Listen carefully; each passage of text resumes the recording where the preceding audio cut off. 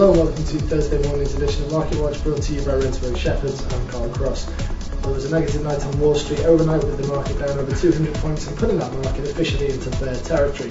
That's rolled on into the London market this morning with the FTSE 100 that's currently down nearly 100 points. Our main corporate results today, Experian, the credit checking company, producing results actually ahead of expectations and pretty much the only stock in the FTSE 100 to be marked up around 10 pence. Meanwhile, Barratt Developments are the latest in the house builders to report results.